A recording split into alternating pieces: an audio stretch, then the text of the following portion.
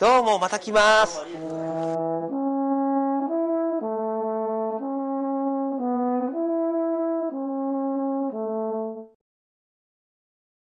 皆様ぺっこり45度飯尾和樹でございます。さあこのコーナーはですね、えー上流階級なってクソくらえ今に見返してやる超えてやるという皆様からの、えー切なくも愛しい下流ポエムをご紹介するコーナーでございます。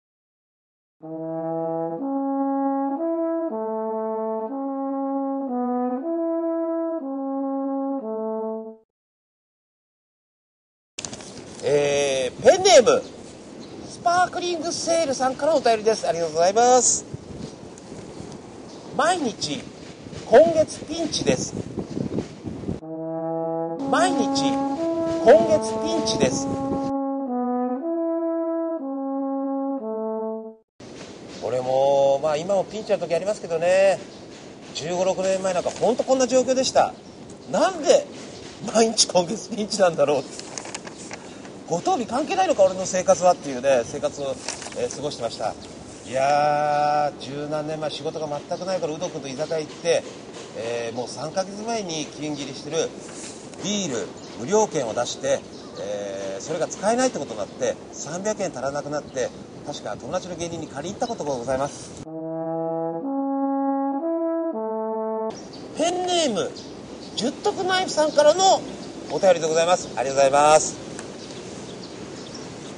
年下のバイト仲間にトランスを勧められています。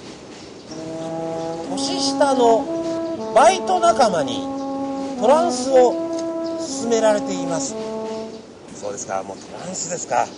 私トランスといっても分かりませんね。イントロでも分かんないと思います。トランス聞いても。ね。とにかく世代交代が迫ってるって感じがします。ペンネーム実家住まいさんからのお便りでございます。リアルに当て逃げをシミュレーションする日曜の昼下がり。リアルに当て逃げをシミュレーションする日曜の昼下がり。どうしたんですか？とうとう体を張る時期が来たんでしょうか？相当追い込まれてますけどもね。そうですか。ね昔戦後はねよくそのああの当たり屋っていうねそういう職業の方がいてフラフラっとぶつかっててあれうまく受け身取るらしいですね。そういうのがありましたけどもどうでしょう。そんなに当て逃げも大丈夫な体力なら一つスタントマンになってみたらいかがでしょうか。今日もペッコリ15度飯尾和樹でした。